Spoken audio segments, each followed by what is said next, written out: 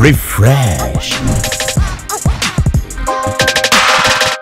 Yes, uh, leo refresh bana, tumepata nafasi ya kuongea kupiga story na moja kati ya watu wakubwa sana kwenye game ya industry ya mziki wa hip hop, lakini pia napo wamechonga barabara, wamefanya makubwa sana, na kwa sababu kuna muda fulani hivi kuna alikuwa anaumwa na sisi tukasema ok tukipata nafasi na sisi at least tuje, tumjulie hali, tupige naye story, tupate mawili matatu. Uh, Profesa J, hali yako? Ah, safi. Mambo vipi? Safi. Kwanza hongera na pole. Ah, mi na Mungu mwema, namshukuru kwa uzima, lakini pia nawashukuru refresh, refresh kwa kuweza kufika nyumbani kwangu na kuzungumza na mimi yeah. Sasa hivi unaendeleaje kihali? Ah, kama nilivyo, niko vizuri mpaka natamani kujiteka. Niko imara kabisa, niko kamiligado na Mungu ni mwema. Amesikia maombi yenu, kwa sababu Watanzania walikuwa wakiniombea sana. Kwa hiyo Mungu amesikia kilio chenu na amenirudisha tena, amenipa tena nafasi nyingine ya uhai na vitu kama hivyo. Yeah. Uh, ukiangalia kwenye upande wa mitandao ya kijamii kuna namna ambayo watu wanaongea vitu vingi sana. Kuna wengine ambao walienda mbali na kukuzushia umepoteza maisha na vitu vingine kama hivyo hapo, na sasa hivi alhamdulillah unaendelea vizuri. Zile taarifa au zile comments au yale maneno rumors ya saying zilikuwa za kufanya unajisikiaje? Ah, kwa kweli unajisikia vibaya na na mimi nimeanza kuzushiwa muda mrefu. Nakumbuka mwaka elfu mbili kumi na tatu nilimba na Diamond kwamba walishazusha nimekufa, eti nimepata ajali, washindo na walegee, Mwenyezi niepushie mbali. Wakasema nina ukimwi kwa kuwa nilikwenda ghafla, wanataka nife mzima kabla, kabla sijafa, sijui ya vitu kama hivyo. Kwa hiyo nilishaanza kuzushiwa muda mrefu, na ndio gharama za umaarufu lakini kwa hii ya juzi ilikuwa mbaya zaidi, kwa sababu nilikuwa nimetoka kuumwa kweli na watu waliniona kwenye hali mbaya. Kwa hiyo jamaa waliozusha kwa kweli ilibidi ni dili nao perpendicular, kwa sababu uh, ilileta mshtuko mkubwa sana na ulileta psychological torture kwangu, kwa familia yangu na kwa ndugu jamaa na marafiki zangu wa karibu na nimeona kama imekuwa too much sasa. Mtu anakaa tu sebleni kwake au nyumbani kwake anazusha tu kitu ana, anaweka picha ya mtu anasema rest, in peace. Kwa hiyo inabidi tukomeshe hiyo hali, kwa sababu Watanzania sasa hivi wamekuwa hawana utu tena, wamekuwa wakiangalia sana trending na streams nyingi badala ya kuangalia utu wa binadamu wenzao na vitu vingine kama hivyo. Kwa hiyo huyu mtu nimeshaongea na mwanasheria wangu na tumefile kesi, kwa hiyo tegemeeni kusikia chochote huko mbele. Yeah. Um, nilipata nafasi ya kuongea na nadhani uliposti pia napo kwenye page yako. Nilipata nafasi kwenye usiku wa TMA Tanzania Music Awards, nilimuuliza uh, Mwana kwamba kwenye mbali na kwamba TMA wana, wanatoa kwamba kwenye mwanamuziki wa hip hop ambaye anafanya vizuri sana ni nani kwake anaona, lakini kwenye upande wa yeye kama yeye, acha TMA, yeye kama yeye alituambia kwamba anaamini kwamba pengine kama ingetoa kwamba yana ana nafasi ya kutoa tuzo angekupa wewe, kwamba wewe ndio mwana hip hop ambaye wa muda wote ambaye unafanya poa. Kiniuliza mimi nitakwambia number one hip hop artist of all times kwenye nchi hii ni Professor J. I know you. Uh, Na mimi na, naangalia I'm, I'm looking up to him. Professor Jay has been uh, making hits za hip hop, yani kavu kwelikweli kwa miaka mingi sana. Ulipost ile clip lakini umekuwa ukifanya rap kwa muda mrefu na sasa hivi bado unakuwa unaendelea yale maneno alikufanya ujisikiaje? Ndio kibinadamu, sometimes unaweza kuwa unafanya vitu of course vikafika, lakini kuna namna wakati mwingine ukiona watu wazito, watu wakubwa, marafiki, mashabiki wana appreciate, kuna namna ambayo una feel wewe katika hichi kipindi ilikufanya ujisikiaje? Ah, kwa sababu kwanza namheshimu sana Mwana FA. Ya, ni mdogo wangu, tumekuwa wote na tumeanza mziki, hatujapishana sana. Mi nilianza, lakini yeye alifuata. Kwa hiyo najua uwezo wake wa uandishi. Mi ni mmoja kati ya waandishi wangu bora kabisa. Ukiniuliza mimi, nitakwambia Mwana FA ni mmoja kati ya waandishi bora kabisa. Kwa hiyo kuona kwamba anarudisha maua yangu kwangu na kunipa nianuse nikiwa hai ni jambo jema na limenifariji sana, kwa sababu wengi wanapenda kutoa hizo sifa wakati mtu ameshafariki ya, lakini yeye FDQ pia nilimsikia akisema kwamba mi ni msanii wake bora wa muda wote, pamoja na baadhi ya madogo zangu kama kina Pima Wengi na watu wengine kama kina Disaster Vina, Young Lunya ndo aliweka kabisa kwenye profile na picha yangu. Kwa hiyo naona wengi wana appreciate na kwa kweli nanifariji sana nikiona kwamba ile kazi niliyoifanya kwa muda mwingi ah, haijaenda uh, bure, haijaenda haba na watu wanafanikiwa kupitia mimi kwa sababu nilichonga barabara na sasa hivi watu wanafanikiwa. Kwa hiyo namshukuru Mungu kwa kila kitu, sio yeah. Sasa hivi ukiingia kwenye mitandao yako ya kijamii umekuwa ukipost hizi video ambazo kipindi ambacho unaumwa inakuwa ni kama sehemu ya testimony, testimony kwamba jamani, niliumwa na mnajua nilichokuwa napitia, hivi ndivyo inavyokuwa. Lakini mwanzoni ilikuwa ni watu tulikuwa tunasikia, lakini hatukupata nafasi ya kuona, yani kwa video hali ilivyokuwa, ulikuwa unaumwa kwa kiasi gani. Unadhani kwa nini sasa hivi umeamua kwamba okay, let me show the world vitu ambavyo nilivyokuwa napitia, labda pengine why now? Uh, unajua kitu kikubwa ni kwamba mimi ni miracle inayotembea, ya ni muujiza unaotembea, na naona Mungu amenipa nafasi nyingine na ana kusudi na mimi. Kwa hiyo niliamua mwenyewe kupost hizo video kwa sababu ya kumpa Mungu sifa na utukufu wake, kwa sababu wengi walikuwa wanajua naumwa, lakini walikuwa hawajui naumwa kwa kiasi gani na wengi walikuwa wakija hospitali wanashindwa kuingia kwa sababu ya ile video moja iliyovujishwaga. Kwa hiyo watu wengi walikuwa wanazuiwa kuja Muhimbili, na kwa kweli Watanzania wengi sana walikuwa wanakuja Muhimbili kuniona, lakini wengi hawajapata nafasi. Kwa hiyo wengi, nilipoposti zile video, uliona wengi walimtukuza Mungu na wengi walisema kweli Mungu wa Profesa J ni Mungu wa kweli, na wengi waliamua kuacha mambo yao mengi na kujifunza kwamba kuna kifo baada ya maisha haya. Kwa hiyo ile ilikuwa ni yangu ni kuwakumbusha watu kwamba hapa dunia sio mahali petu penyewe pa kuishi, ni kwamba tunapita tu, lakini sehemu yetu ya mwisho ni mbinguni kwa Mungu na vitu vingine kama hivyo. Kwa hiyo na wengi pia walikuwa wamwamini Mungu, kwa hiyo wameamini Mungu kupitia video zangu kwamba kweli Mungu yupo na halali, hasinzii na anaweza kutenda, akiamua yeye, hakuna binadamu anayeweza kutengua. Kwa hiyo hiyo ndio ilikuwa sababu yangu ya, ku, ya, ku, ya kuposti zile video ili kumpa Mungu sifa na utukufu wake, na nashukuru watu wengi wali walimtukuza Mungu kupitia zile video na kupitia mimi, na nadhani hilo lilikuwa kusudi la Mungu kunipitisha kwenye yale mazingira niliyopita, ili niweze kuwa testimony kwa watu wengine na kulitaja jina la Mungu na kuwakumbusha watu kwamba kuna kifo baada ya Mungu na vitu vingine kama hivyo. Uh, kulingana na the way sasa hivi unavyoendelea, unadhani una nafasi tusema kwamba full unaingia kwenye mziki kwamba okay, labda sasa hivi nataka niingie full kama pengine ya zamani, au kwamba unasema okay, nitafanya lakini kidogo kidogo? Uh, unajua mziki ndo kila kitu kwangu. Nimekuwa mwanasiasa kupitia mziki, ingawapo katikati, bahati mbaya ni kwamba wakati naumwa nilitobolewa koo kwa ajili ya kutoa uchafu, kufyonza uchafu kwenye mapafu na kwenye figo, kwa sababu nilikuwa na sumu nyingi mwilini. Kwa hiyo watu wengi walikuwa na wasiwasi kwamba sauti yangu haiwezi kurudi, lakini sasa hivi naona mnanisikia live bila chenga. Kwa hiyo mnazidi kumtukuza Mungu kwa hilo na ndugu zangu walikataa kabisa nisifanyie operation ya, koo kwa sababu wanajua mziki wangu unatokana na koo, lakini pia siasa inategemea sauti na vitu vingine kama hivyo. Kwa hiyo uh, nazidi kumtukuza Mungu kwa hiyo kitu, kwa sababu uh, amenirudishia kila kitu ambacho nilikuwa sina, na nategemea kuwa na vitu zaidi kuliko vile nilivyokuwa na mwanzo.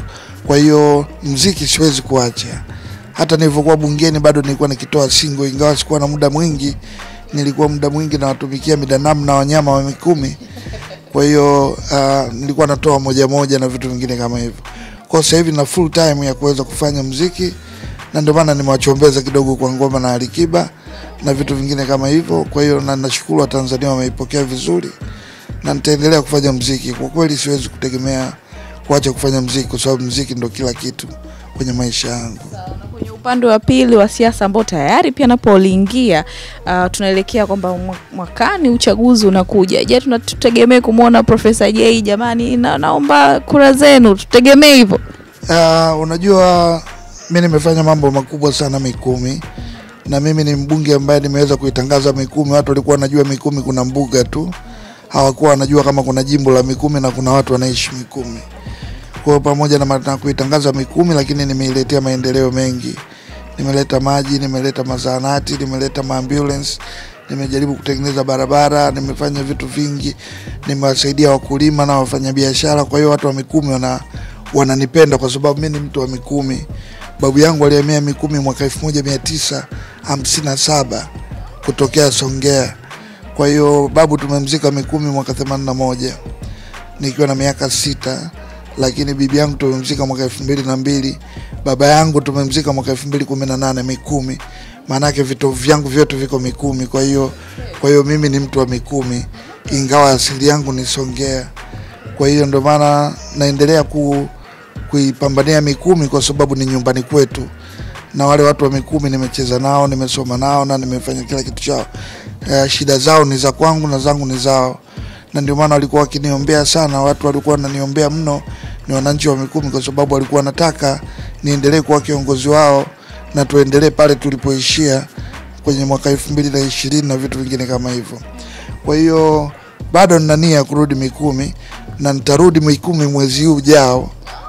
Hii tarehe ishirini na saba naenda kupiga kura nikiwa Mikumi kwenye uchaguzi wa serikali za mitaa, kwa sababu naamini uh, madaraka kwa wananchi yanatoka huku chini kabisa kwenye vitongoji na vijiji.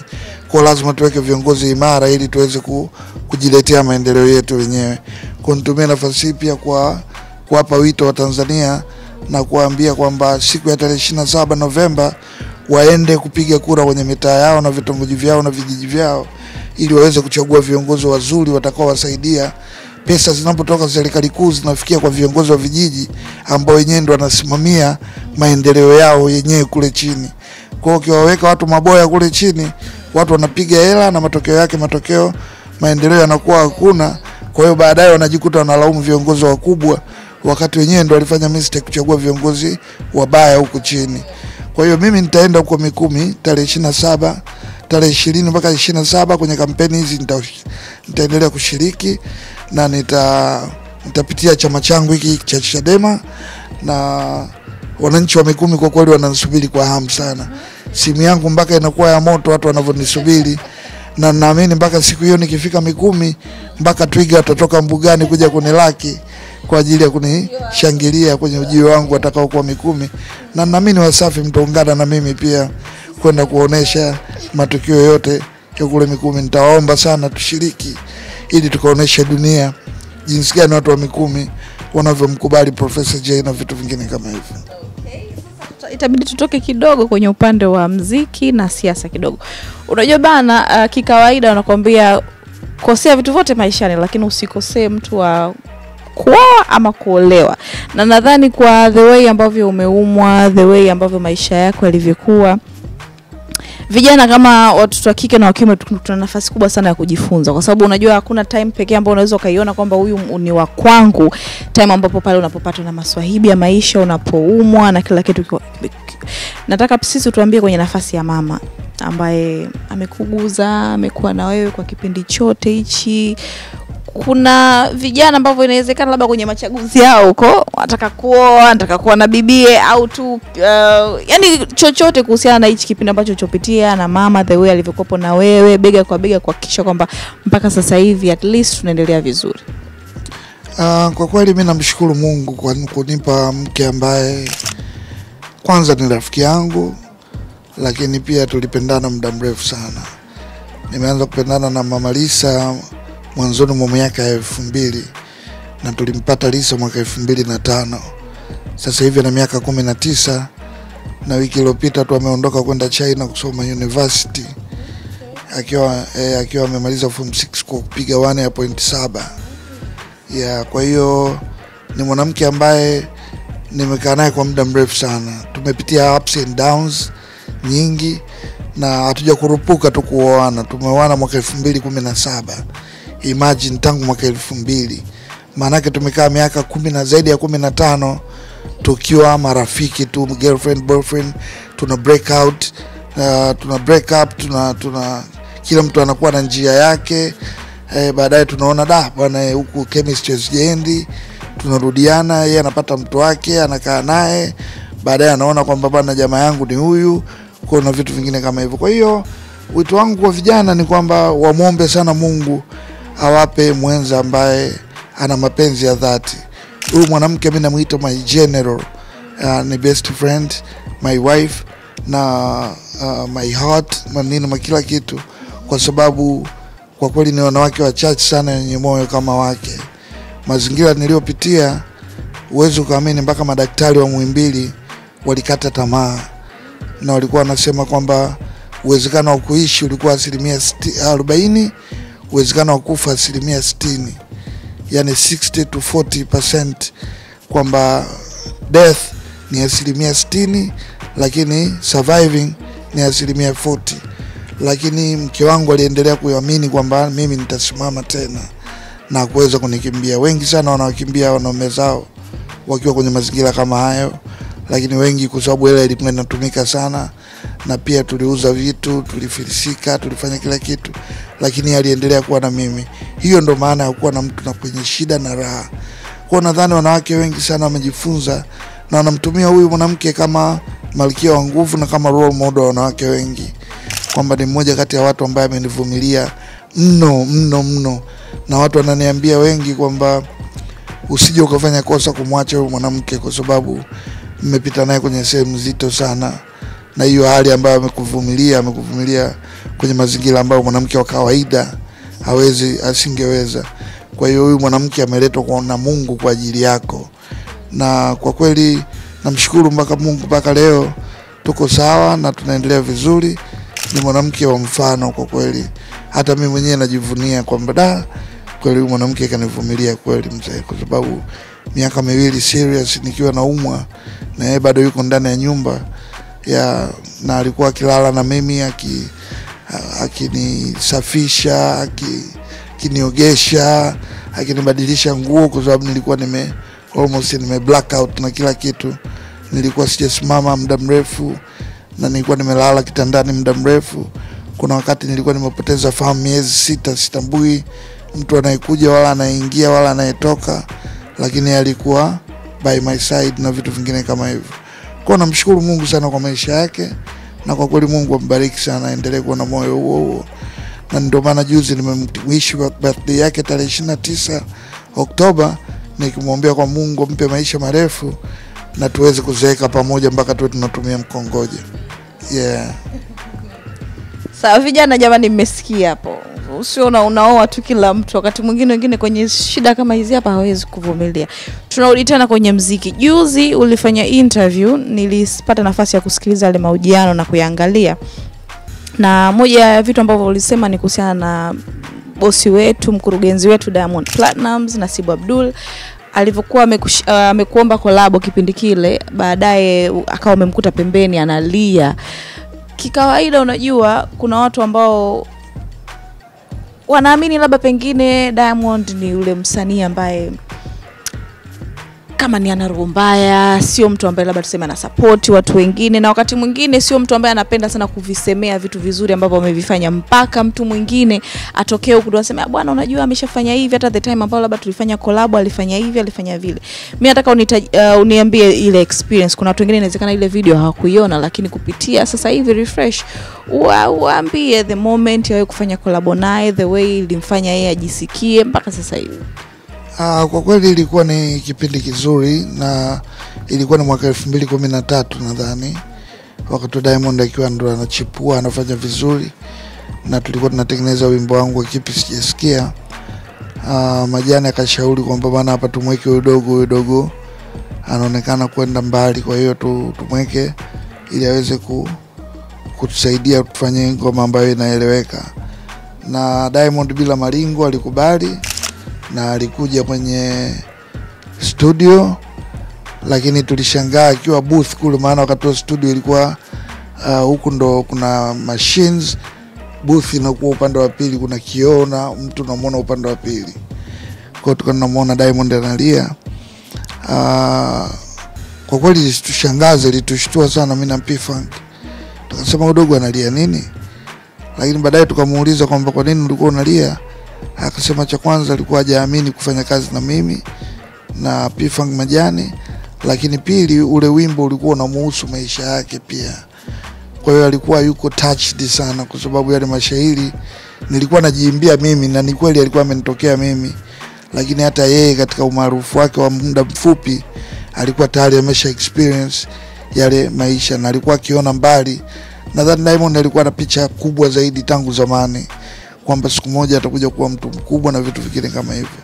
Kwa ile film nadhani ilimpa hiyo hali ya mpaka yeye kulia, lakini kiukweli, kusema kweli, Diamond ni mtu mzuri na anaendelea kuwa kutoa support, kwa sababu hata tulipofanya video pia na na Adam Juma wakati ule ya alinipa ushirikiano wote kabisa 100% bila kunisumbua, na tulifanya ile kazi.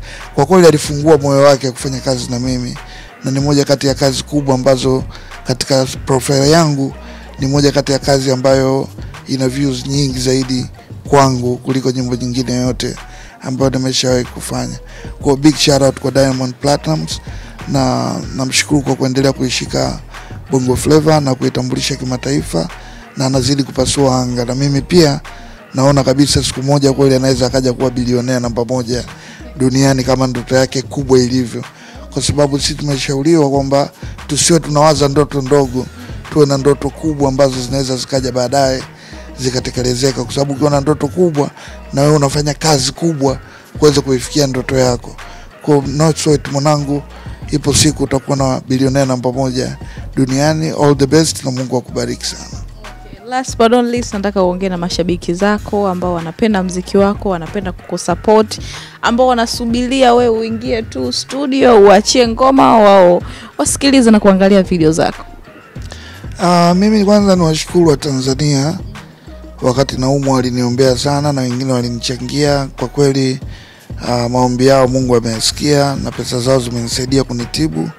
Nawashukuru sana, namshukuru sana Rais wa Jamhuri ya Muungano wa Tanzania, sababu baada ya Tanzania kuchanga kwa muda, serikali pia ikaamua kuingilia kati na kusema bili yote iende kwao, kwa wenyewe wakasaidia kuni, kunitibu na mpaka leo nime, nime nimeweza kusimama tena. Kwa hiyo nawashukuru Watanzania wote kwa kujitoa na kwa kuniombea. Mungu amesikia ma, maombi yao.